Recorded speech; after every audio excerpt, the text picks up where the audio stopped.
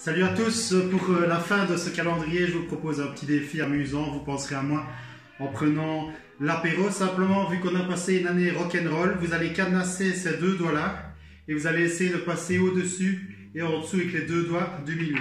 Donc on peut faire ça avec un couteau, amusez-vous à table, vous mettez votre couteau ou votre fourchette et vous essayez de passer au-dessus et en dessous.